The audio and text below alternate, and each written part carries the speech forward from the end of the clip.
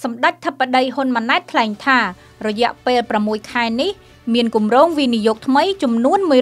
173មកចុះបញ្ជីវិនិយោគនៅកម្ពុជា ដែលមានទំហំទឹកប្រាក់ជាង4000លានដុល្លារអញ្ចឹងនៅក្នុង6ខែនេះគម្រោងទុនជា173គម្រោងហើយទុនវិនិយោគ4150លានដុល្លារ ក្នុង173នេះគឺគ្រោងវិនិយោគនឹងដាក់ទុនជាង4000លានដុល្លារអាចចូលថាចុះនៅណាក្រុមហ៊ុនមិនអាចបង្កើតប្រយុទ្ធទេ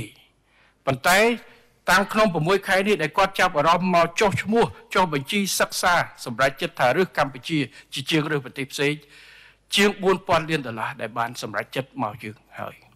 ក្នុងឱកាសអញ្ជើញជាអធិបតីដឹកនាំកិច្ចប្រជុំគណៈរដ្ឋមន្ត្រី នៅព្រឹកថ្ងៃទី15ខែមីនាឆ្នាំ2024ដែលប្រារព្ធនៅវិមានសន្តិភាពសម្ដេចធិបតីហ៊ុនម៉ាណែតបានគូសបញ្ជាក់ថាគម្រោងថ្មីរយៈពេល6ខែមាន173គម្រោងមកចុះបញ្ជីវិនិយោគនៅកម្ពុជា និងមានទំហំទឹកប្រាក់ជាង4000លានដុល្លារ សម្ដេចធិបតីហ៊ុនម៉ាណែតបានគូសបញ្ជាក់បន្ថែមថាគម្រោងទាំង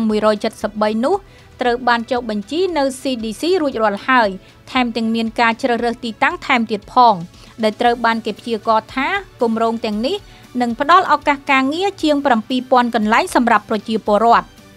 សម្ដេចធិបតីហ៊ុនម៉ាណែតក៏បានគូសបញ្ជាក់ថា